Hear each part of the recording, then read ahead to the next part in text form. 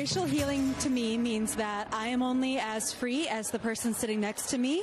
So we should all come together because our freedoms are all intricately bound up in one another's. Welcome back to Studio B in New Orleans. Behind me, you can see a painting by Brandan B. Mike Odums called My Little Generation. It shows a present day New Orleanian confronting an artifact from the past when segregation was a rule, from water fountains to schoolhouses. On their first day at the new school, Minnijean Brown and eight other black kids found an angry mob and the National Guard blocking the schoolhouse door. It was 1957 in Little Rock, Arkansas. The teenagers were trying to integrate Little Rock Central High School. They tried three different times over the course of a month. General Walker, commander of the division, was asked to delay the entrance of the Negroes for a day to let things cool off. But General Walker decided no, this had to be done. Finally, backed by 1,200 soldiers, they made it inside for their first full day of class. Minnijean and her friends were known as the Little Rock Nine, and we remember them today as heroes. At the time, they were just kids, trying to learn amid a torrent of abuse. White students called them names, spat on them, hurled hot food at them, even sprayed them with acid. One day, a white girl hit Minnijean in the head with a purse, and Minnijean responded by calling her white trash. For this one misstep, the school expelled Minnijean. White students passed notes that read, quote, one down, eight to go. Minnijean Brown, now Minnijean Brown Trickey, would end up finishing her education far from home in New York City. She had spent a lifetime thinking about racial healing for the country and for what she herself endured in trying to push the country forward. We were ordinary teenagers and we were interested in changing something. And we believed that we could.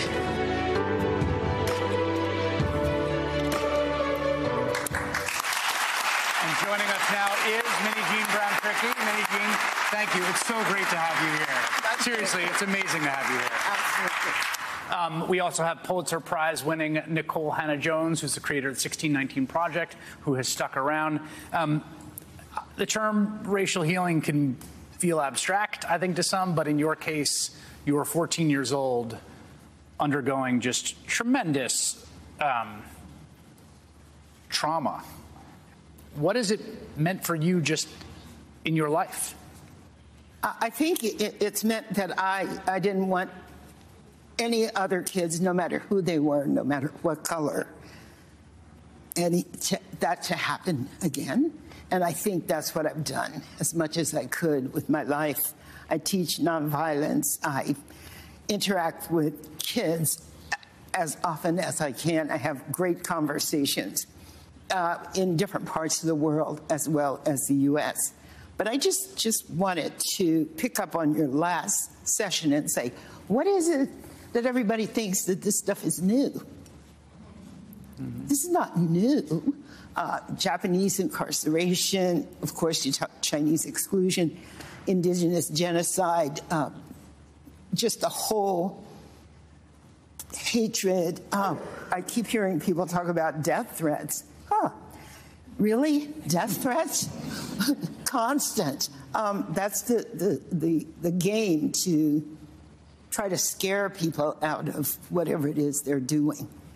And I, I have a story about my three year old brother answering the phone and somebody saying, We're going to come burn your house down, we're going to kill you, and all that. And I thought, ultimate depravity to do that to a child. But that's the nature of kind of evil. Um, Bonhoeffer, who was a Holocaust victim, says, To speak is to act, not to speak is to act. So, you know, we have this whole concept of people standing by and doing nothing, which is uh, uh, also. Uh, but anyway, so that's where I am. It's not new.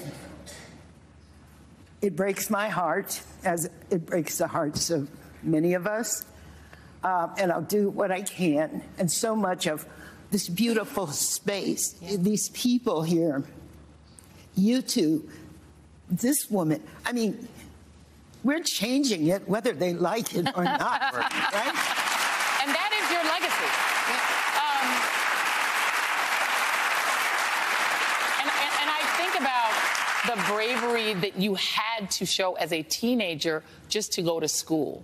And I, I do wonder what your mom said to you uh, as you were tucking your books underneath and heading into that hostile environment where moms were screaming at you, where people's moms were yelling, cursing at you. Um, what did she say to you to prepare you for that? What, did, what was the thing she said before you set off? Uh, it pretty is, it's pretty does. You're smart, you're talented, and they're just stupid. and I do want to bring you into this, Nikole, because the thing that you two have in common um, is that you've both been on the receiving end of rage for doing something that's very simple, right? Sort of asking people to, or trying to learn, or asking people to learn. Hmm. And that seems like such an elementary thing to, to do. But the hate has been unreal. I think both of you experienced it. And I just wonder how Miss Minnijean's story falls with you. Um, I feel very emotional. I, I, have studied uh, your photos, um, your heroism. I know you don't like when people talk about your courage, but um, on my worst day, I don't understand what you went through and so many people in the movement. So I don't even feel like it's justified to give any comparison at all um, to anything that I that I've gone through. And I always reminded myself of that. Right, whenever I want to feel bad because something has happened. Um, I think about, you know, my grandmother was born on a cotton plantation, and I think about people like uh, Miss Minnijean, who, to be clear, right, we, we want this to be so far in the rearview mirror.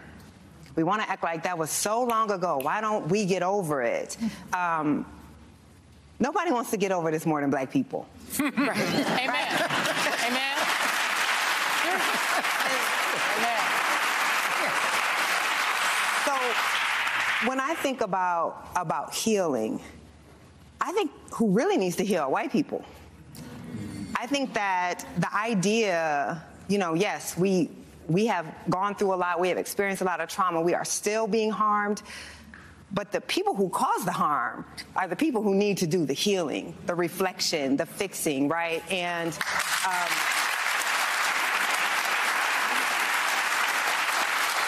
Because really, if, if, we were just left alone, we'd be healed by now. Yeah.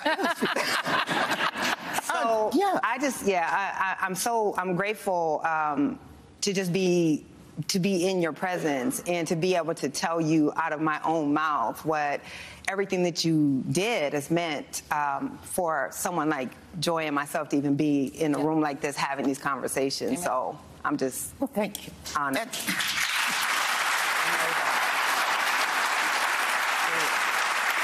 Okay, so uh, activism is a life sentence. And I love that. Really, because there's always something. Um, there's the environment, there's, there's, I'm an env- arrested environmentalist. I've gone to jail because I see all of this as related, and it is about power.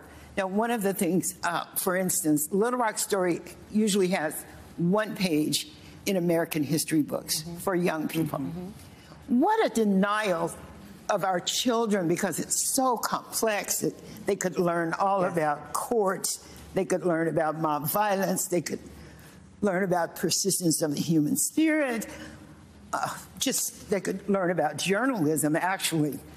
And yet we deny our children truth. And they love truth. They desire truth. Yeah. So so we have an obligation to give them truth and give them complexity. So this is how I see what I said earlier tonight. The 1619 project took something that usually took a page. That's right. When the Daughters of the Confederacy said it in my history book at Central High School, they said slavery was good for black people and the masters were kind. Mm. So she took something and showed the complexity uh, and the resonance and how it keeps reverberating and how we keep seeing it happening. And so that's the beauty of that to me is to bring complexity to things in honor of our children who want to know more mm. than you do. I, I almost, I almost can't deal with old people. Okay. I. We love you. Uh, well, and I have to say that when I look at those pictures, um, what I want to ask is the white women and men who are screaming, what is it that you think you're losing? Mm-hmm. Right? Because the, I think one of the reasons people are afraid to confront this history and give it more than a page is that they might have to ask grandma. Yes. Or might have to ask grandpa, what did you think you were going to lose if Minnijean sat in a class with your child? And that's the question we don't ask when we talk about history. We actually have people of color all having this conversation, yep. right?